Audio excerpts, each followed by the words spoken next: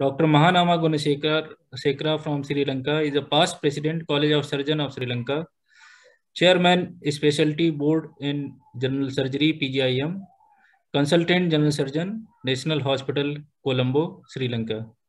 Dr. Mahanama, please. Uh, thank you very much, Dr. Katyan, for that kind introduction. Uh, firstly, I must congratulate uh, Dr. Irene Madrid and Guru for the excellent presentation and uh, sharing the wealth of experience gained um, with while uh, in one of the landmark uh, urban warfare incidents this happened during the recent past in, in, in the whole world, I suppose. And uh, then sharing her uh, uh, experience gained while her own personal um, safety is threatened, the family safety is threatened, as well as the healthcare institution uh, uh, in the city itself is threatened. And um, she highlighted the, the, difficulties that we face in, in urban warfare, in retrieving casualties, and of course, uh, getting patients to the hospital. And, uh, uh, and when there's a large population involved, a small number reached initially the hospital. So therefore, she had to have the outreach, the value of outreach uh, uh, teams, reaching the patients and then providing them with care uh, was highlighted. Uh, at the same time, she also highlighted the importance of coordination and getting the medical administration and uh, the, the hospital administration involved in organizing in an unpredictable event like this. At the same time, how unpredictable it was, and it was initially planned for three days and which expanded over five months, and only a small percentage reached hospitals, and then how he had, how she had to gather resources, which includes the transport systems, students, volunteers, to take care of the patients. At the same time, she also highlighted the value of training and it, how what a blessing it was to have uh, uh, the opportunity to have trained the teams while the disaster or the, uh, the warfare was going on. And this brings to our attention that how uh, these modern, the, how these special situations where these uh, in, in an urban environment, how the warfare or disaster or a terrorist attack is a very special challenge. Uh, they are confined spaces, and then of course, uh, casualty retrieval is a unique problem, and at the same time, transport, providing pre-hospital care, as well as maintaining the institutions which are also under threat, maybe due to natural disaster or even a man-made disaster.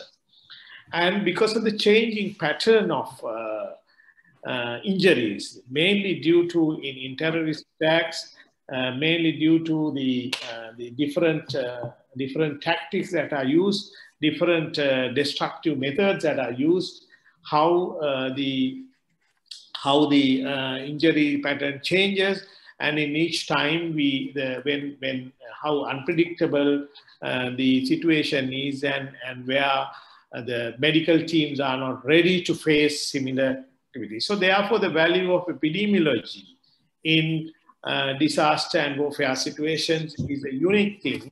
And uh, similar to uh, the difficulties that we face in treating such patients even gathering information and maintaining epidemiological data uh, and completeness of data is always a problem in a disaster situation. It could be the by it could be a disaster or an unmanageable situation, a situation which cannot be coped as a result of the number of the patients involved, or the location, or the or the nature of the disaster, or else otherwise it hazards involved, um, and and the medical teams uh, uh, involved and the facilities, medical facilities available, and of course, the infrastructure available for, uh, uh, for gathering information and record keeping. However, the value of record keeping is it cannot be underestimated on any of these circumstances. That is the main tool for research purposes. And therefore, I think uh, Asian collaboration of trauma and all of us has to design methodology to gather information in this unfortunate during these unfortunate situations because it is time for us to be prepared the, for these similar unfortunate events that is quite possibly could take place in Asia in the future. So therefore, uh, uh, we must be ready for the changing pattern of illnesses and, and training our, uh, our, colleague, our colleagues as well as the younger generation. And we had the same problem. Uh, uh, I have the experience in uh, the warfare in Sri Lanka from 1990 to 2009, we, were, we, we received several large number of mass casualty incidents, more than 50 in our own institution in the National Hospital Colombo.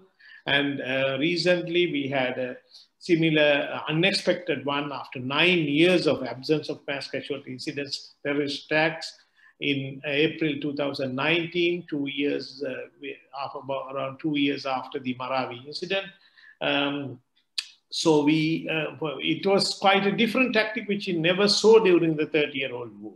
So that there, there were six explosions in uh, six different sites. Three were religious institutions where there was mass gathering during prayers.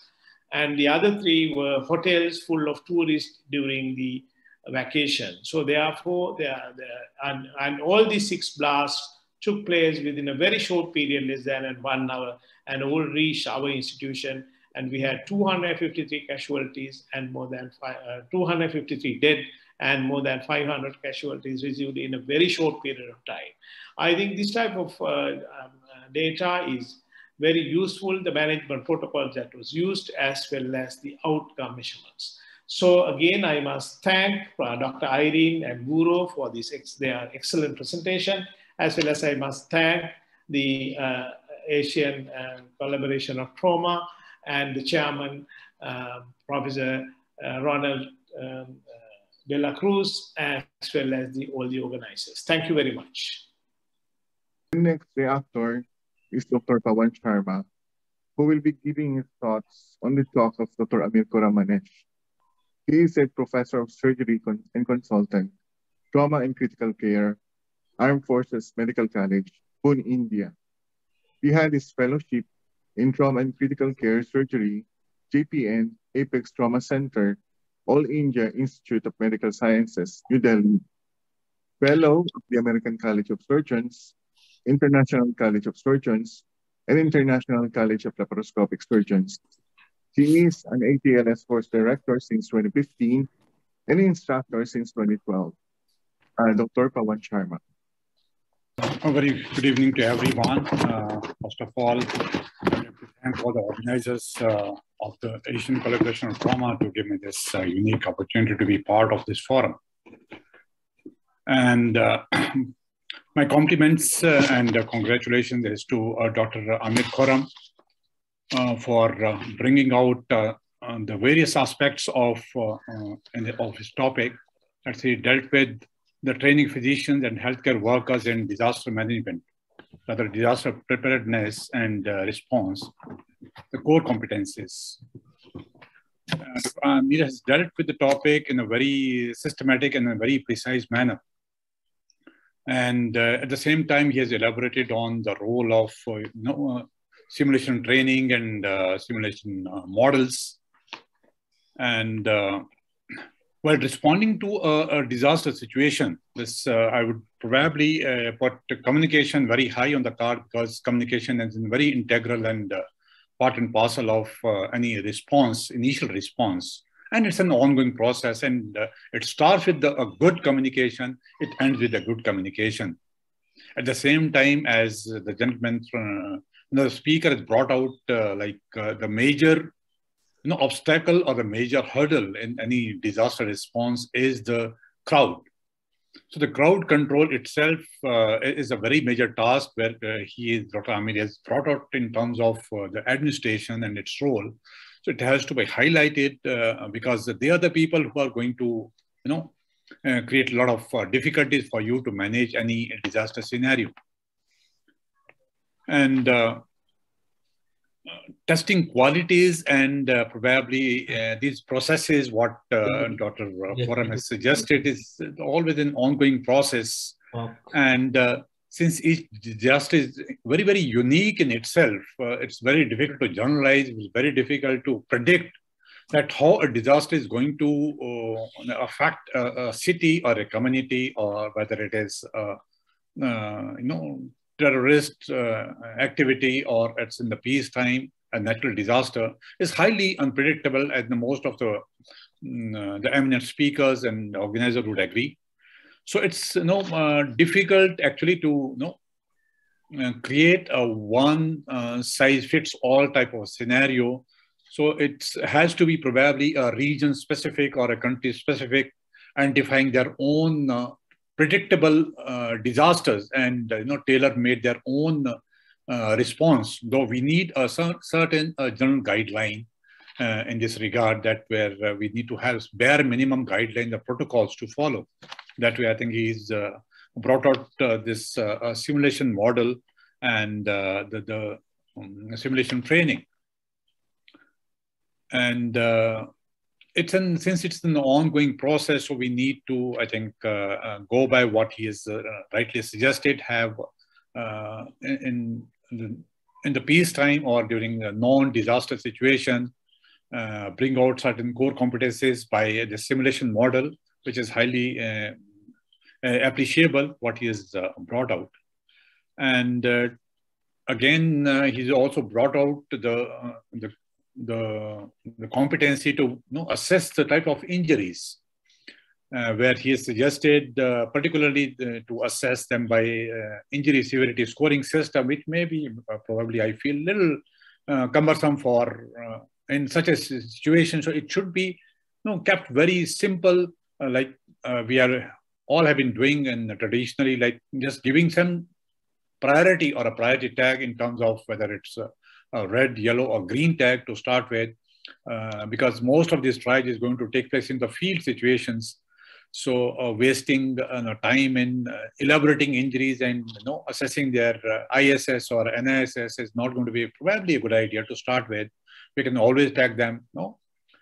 Uh, red, yellow, and green to start with so that we can at least, you know, straight to segregate all those greens, which the previous speaker has nicely brought out which are almost uh, you know, two-thirds or 70 to 80 percent of all the casualties. Which and usually they are the ones who interfere in your uh, management process. And uh, it's also suggested various types of uh, uh, this simulation model, uh, which is uh, again a great idea like your total or functional or concept and uh, you know planning. Though simulation has you know, it, its own merits, uh, but again, it has got its own uh, limitation because it really cannot uh, simulate the real uh, life-like situations. So we should uh, you know, try to emulate it to some extent. But yes, we need to have more of you know actual some kind of model where actual this disaster drills are conducted regularly. I had this you know great opportunity to visit Israel around 10 years back whereas a part of that international trauma course, and they uh, uh, conducted which, uh, just showed us that underground facility of the car parking facility where it, it can be you know converted within a matter of few hours into a, in a disaster scenario to various emergency life management facilities. So there we have actually done the disaster drills, which uh, is must. It should be done on ground. And I uh, firmly believe that, you know, uh, at a periodical, uh, you know, quarterly or half yearly, they have to be done on ground involving all uh, stakeholders, including administrators, uh, the healthcare professionals, and uh, your civilians and the patients, and you know, voluntary workers, including NGOs. And once again, my compliments to Dr. Khorram for that excellent predisposition today evening. And once again, uh, thanks to all the organizers uh, uh, for this opportunity. Thank you so much. Dr. Teodoro is a professor of trauma surgery and emergency medicine, University of Philippines. Is a director, trauma, injury and burn care commission, Philippines College of Surgeon Foundation. A special advisor, interagency task force against COVID. Board member, Philippines Health Insurance Corporation. Former, uh, former health undersecretary of the Philippines. Former executive vice president of the University of the Philippines system. Former board member of uh, WADEM former professor of emergency medicine at the University Keban San, Malaysia. Dr. Teodoro, please. Very much to uh, Dr. Bala for that very nice presentation on uh, mass casualty incidents. We all learned with the extensive presentation of Dr. Bala. I too trained in Israel at the Tel Aviv University uh, way back in 1991. And uh, at that time, I had the chance to be able to visit the trauma unit of Hadassah but at that time, it was still the great Dr. Avi Rivkind, who was chief of trauma at that time. So please give my regards to Dr. Avi Rivkind. Uh, I think his presentation clearly uh, exemplifies all the different features of uh, mass casualty incidents. But what he fails to actually uh, tell us is the culture of preparedness that the Israelis have. And this I noticed because uh, Israel is a country that is in conflict with the neighbors, with the uh, organizations that want to abolish them or bomb them or terrorize them. So they're in a level of preparedness that is kind of unique to different. Uh, it's not found, let's say, in the Philippines, in the tropical islands, where we're not as ready when the ISIS came. We weren't as ready as a, a country like Israel, and that's where I think the features of uh, handling uh, mass casualty incidents come in wherein you have to put a lot of interplay of society into the chaos that evolves in the aftermath of a mass casualty incident. Yes, there will be chaos, but in Israel, the, the system is actually unique because all Israeli youth are conscripted to the Israeli Defense Forces. And because they're conscripted, they spend two to three years in the military. And even if they're already in the or in the medical community, they actually, I think, dedicate still about a month of their year, of every year, to serve in the IDF. And that's why uh, you see the IDF being deployed in many of the uh, humanitarian efforts all over the world. I, I met the Israeli Defense Forces again during Typhoon Haiyan in the Philippines when I was the overall coordinator and I actually deployed the IDF forces to an island called Bantayan Island. Everybody wanted to go to Tacloban. I said, no, you go here. And they were very happy because there were no humanitarian agencies going to that island and they did a tremendous amount of system. So that's the first thing we learned from him.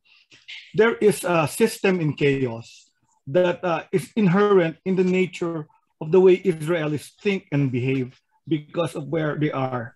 He also elucidated the importance of the five C's, and I, I will I will repeat this for for emphasis he talked about contingency planning, very important, command and control, your incident command system, coordination, cooperation, and capacity building. So these are all very important so that you do not repeat errors of previous management in a previous mass casualty incident. And all over this, he emphasized a very important point that we all should learn. The importance of making sure that chaos will disappear that you will be able to reorganize and respond through good communication. So site control through good communication, being able to communicate with other members of the emergency services, from the police to the fire services to the uh, uh, paramedics or the pre-hospital care to other doctors in the field or in, in, in the hospital. So that's actually a very important point that he emphasizes. The role of com communications Again, he also emphasized the challenges in the pre-hospital setting, a pre-hospital setting where you have no resources and you have plenty of needs. So you have needs without without an adequate amount of resources, and you need. He talked about this. He said the importance in a mass casualty incident is to be able to deploy the logistics needed to actually handle a mass casualty incident. And he emphasized that, and I will say that is very important. And he differentiated pre-hospital setting to the hospital setting in the mass casualty incident because his concept is really evacuate them quickly to the hospital where the hospital has all the resources and the specialties but the hospital needs to surge And he showed the, the typical features of surge with a hospital in Rambam when you have what we call a uh, multi-purpose facility. Uh, I, I trained at Chaim Sheba Medical Center, and they also have a whole basement that is used as outpatient surgery, but it's actually a whole hospital as well when the, with a specific airlock for biological and nuclear incidents. So he, he talked about all of these important key elements, being able to identify the key personnel that will actually make sure that the chain of command is uh, given out to an orderly manner. So a very important point he mentioned as well is when you save lives in a mass casualty incident, it is important to talk about salvageable cases or what I would term as survivability. We call it uh, lowering lowering your level of ambition. So in a in a non-mass casualty incident, you do all your efforts to actually save a particular patient. But in a mass casualty incident, you'd have to recalibrate and re, re, rethink of who are the ones that will get majority of the resources because you have to ration such resources. So in conclusion, I think the most important part he mentioned in the conclusion, which we all surgeons should learn about this, is the importance of governance in being able to lead a mass casualty incident. So we often forget this. We talk about all the systems, all the communication, but what is important is the leadership shown by surgeons and leaders to make sure that the mass casualty incident is managed. So with that, I'd like to thank uh, Dr. Bala for a very interesting presentation and very much uh, uh, many things and, and, shows his wisdom and experience in the field of uh, mass casualty incidents. Thank you very much. The author is Dr. Joel Macalino for the talk presented by Dr. Daniel Messelken. He is a medical legal consultant at the St. Luke's Medical Center, Philippines, Division Chief of the Surgical IC of the Philippine General Hospital, Head Trauma and Critical Care of the Tondo Medical Center. Students of trauma, welcome Dr. Joel Macalino. Anyway, this is another presentation involving the Marawi siege. I hope um, I'll be worthy between the uh, first two surgeons who presented regarding this topic. Uh, I hope I can uh, give justice to this. Anyway, this is the Marawi siege looking at the ethics during this armed conflict. So this started with this uh, Maute group, but when they reached Amai Pakpak Medical Center, this group actually uh, replaced the Philippine flag and replaced it with the uh, Islamic State flag, the black flag. And during that time, there were observers who said that uh, uh, hospital staff uh, tells of or or ha has encounters with women and children warriors. Our president at that time was in Russia. And during that time, he declared martial law while still in Russia talking to Vladimir Putin. At about June 9, the president uh, was already here in the Philippines. Uh, the significant thing about this is that um, he attended the wake of Lieutenant Sevillano, a, one of the Marines what is more important is that uh, the lieutenant led a team that recovered about 80 million pesos worth in cash and in check. That means that they are ready. They have the money. June 12 is the Independence Day of the Philippines. And this was a picture taken by a police officer at that time, it was uh, the casualty count was 58 among the government troops.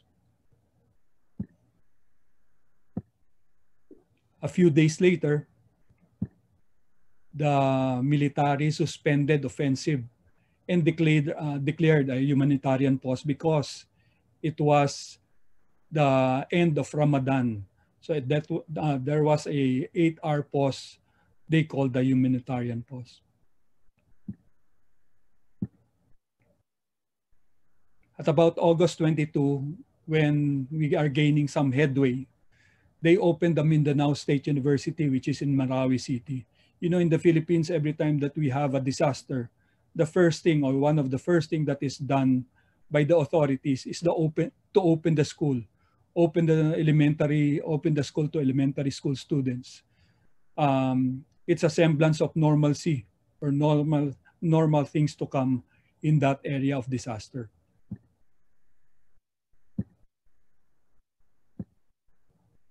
Now, even the Grand Mosque was not spared. The Grand Mosque uh, was said to be used as a hideout of the terrorists. This is the picture of the Grand Mosque before it was uh, damaged. Now, this is the area, the battle zone of the Marawi, of Marawi City. The one in red is where you have a heavy fighting. In the periphery, the yellow uh, areas are the trap residents. This is the running balance. At that time, there were 360 displaced civilians, about 1,200 dead, composed of militant soldiers and civilians. And there were about uh, 17, uh, 1,700, 1,780 civilians rescued. Now, these were taken from the piece written by Jasminder Singh and Asis Jani. I took the liberty to um, compile it and uh, differentiate you know, between the two, the um, Philippine Armed Forces and the one flying the black flag. As regards to victory, victory in terms of the armed forces would be neutralizing the enemy, recapturing the land, and um, troop advancement. While in the Maute ISIS group, it was to create a humanitarian crisis, probably expose the failure of the government to protect its citizens. As regards to warfare, the difference is that we are ready for jungle warfare, but then the Maute ISIS group were ready for the urban warfare. As such, our tech tactics, the armed forces of the Philippines, were conventional and would uh, be dependent on military might, while that of the other group is unconventional with the use of improvised explosive device, suicide bombers, and even the use of hostage.